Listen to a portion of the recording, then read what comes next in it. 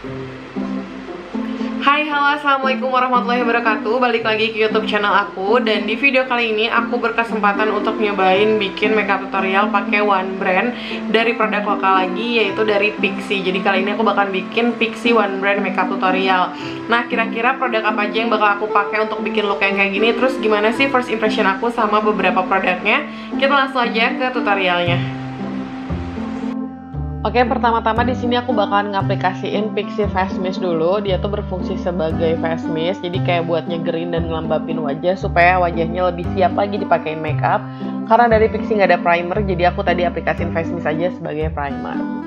Oke, kemudian aku bakalan ngaplikasiin alis. Ini stepnya kayaknya teman-teman bakal bosen karena ya seperti biasa ngebingkai, ngisi warna, terus nyikat. Cuman aku bakalan ngasih first impression aku sama pensil alisnya.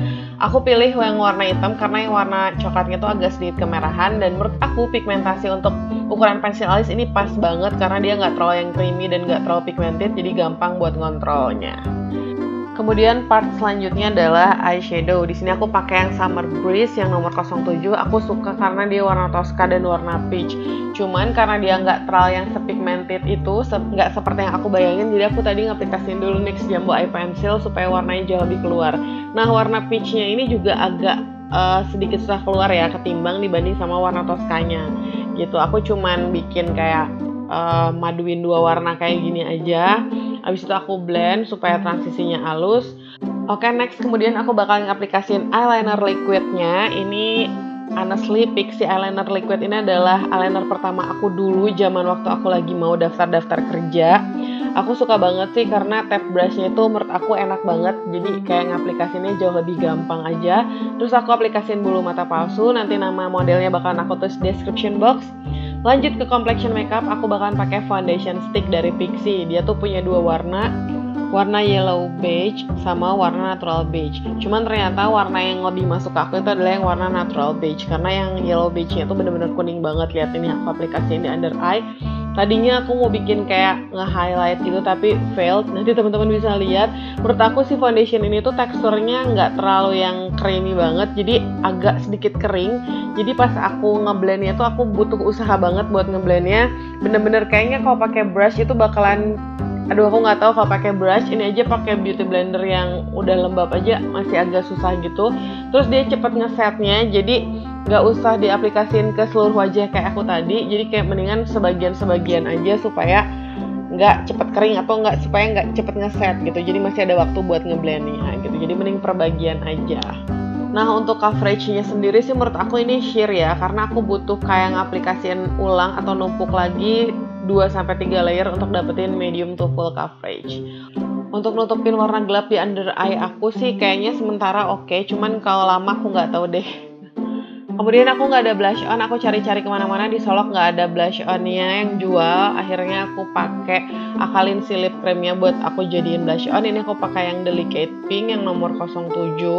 Aku blend aja pakai beauty blender yang lembab. Oke okay, next kemudian aku bakalan ngeset si foundationnya tadi pakai loose powdernya dari Pixi. Ini aku pakai yang warnanya yellow beige. As you can see ini warnanya emang kuning banget, cuman aku suka sih sama warna bedak yang kayak begini. Aku pakai buat ngeset di under eye terus sisanya aku bawain aja ke seluruh wajah kayak gitu.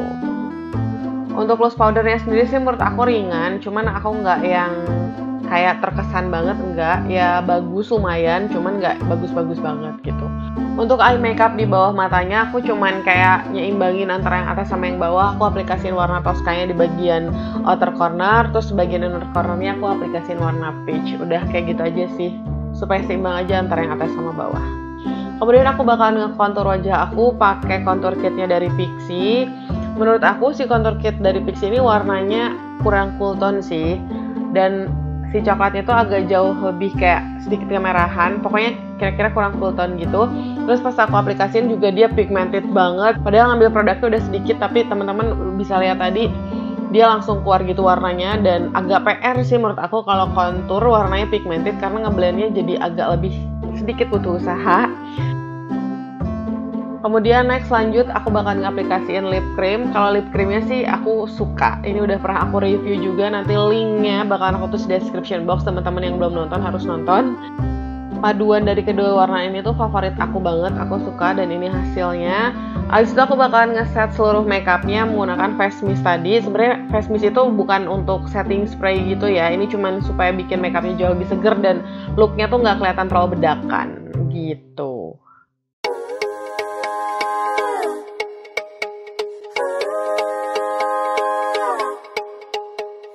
was walking down the street the other day Trying to distract myself But then I see your face Ya kira-kira itu tadi makeup tutorial yang bisa aku share kali ini ke teman-teman semua. Semoga teman-teman suka dan semoga video ini bisa menginspirasi teman-teman. Ya kira-kira segitu aja sih review atau first impression aku sama beberapa produk Pixi. Kalau misalnya ditanya produk apa yang paling aku favoritin di antara produk-produk yang tadi aku cobain Aku itu paling suka banget sama eyelinernya. Karena aku suka sama kepekatannya Dia warnanya cukup hitam pekat Terus aku juga suka banget sama tap brushnya karena dia bisa bikin eyeliner serapi mungkin. Ya, segitu dulu aja. Thank you so much for watching. Keep spreading love every time and everywhere. Wassalamualaikum warahmatullahi wabarakatuh.